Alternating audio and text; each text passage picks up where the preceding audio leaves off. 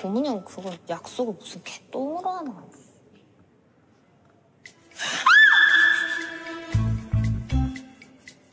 괜찮아. 뒷담 화를 까야 속병이 안 나지. 무병장수의 승재 씨?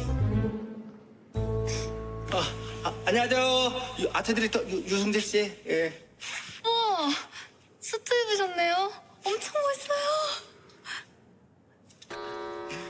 형이 오고 싶단 데가 여기야? 어, 여기, 여기 미, 미술 도서관. 여기 그, 그 그림자 엄청 많아, 엄청. 어. 저, 저 따라주세요. 예. 이쪽, 이쪽. 너 앞으로 이거 입지 마.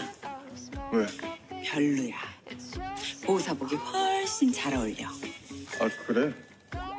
몇 벌 더 사볼까 했는데 정장이 왜 이렇게 편하네? 보기엔 무척 불편해. 입지 마. 알았어. 그럼 너도 이런 옷 입지 마. 보긴 무척 불편하니까. 이씨. 야! 입지 말라면 입지 마! 확 찢어 밝혀버린다! 어? 입지 마!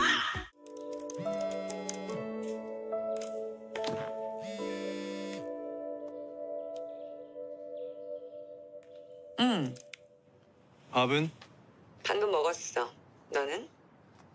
난 형이랑 먹었지. 너 일할 때 승재 씨나 이 대표님 불러서 같이 있으면 안 되나? 글 쓸 때 옆에 누가 걸리적거리는 거 싫어. 문은 잘 잠궜지? 또 아무나 함부로 문 열어주지 말고. 좋다. 뭐가? 내 걱정해주는 거. 앞으로 네가 걱정할지만 골라야겠다. 참. 오빠, 오빠. 오빠? 어떤 년이야? 어? 아, 아 아니야 신경 쓰지 말고 글 써. 에이씨. 분명 어린애 목소리였는데. 나도 궁금해. 아까 너한테 오빠, 오빠 했던 그 어린애는 누구야?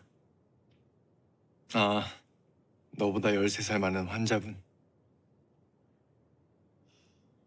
어쩐지 목소리가 참 영하더라. 동화 낭독 시켜도 되겠어. 참.